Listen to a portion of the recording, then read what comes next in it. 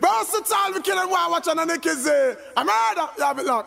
Oh my gosh, welcome to the show. Right now, hanging out with us, we've got the one and only, formerly known as Gaza Kim, now known as Kim, KYM. Welcome to the show, Kim.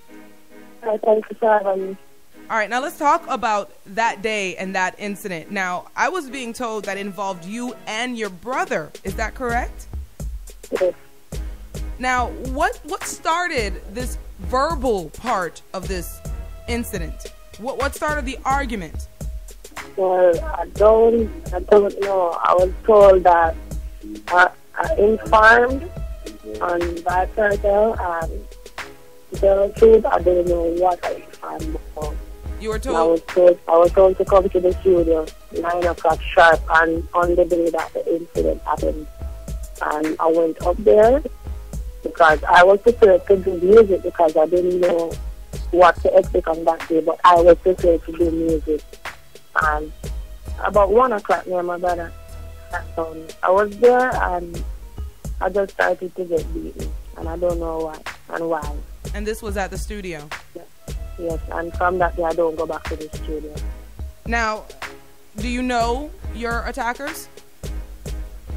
Yes, I know all of them. How many of them were there? There was four of them. Were any of them artists? Artists, no, none of them were artists. Only one was an artist? None of them were artists. None of them were artists. So, no one who hit you was an artist? None of them. Okay. Now, um, it was also alleged in the press and in the paper that this attack that was dictated to you was done by order of an alleged artist. Do you know or can you tell me if there's any truth to that rumor? Uh, I don't know. I don't. I don't know. Really and truly, I don't know. All you know is that you were called and you were told you informed on Kartel. Is that correct? hmm And you But were when when I was called, when I was called, I was told that I'm going to be beaten up, assaulted. assaulted. Right now. I was just told to come to the studio. Now, when you arrived at the studio, there were no words spoken. Nothing was said. No, Nothing at all.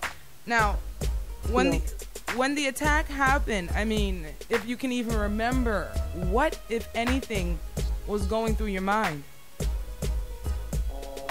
um, what was going through my mind was just to get out of here.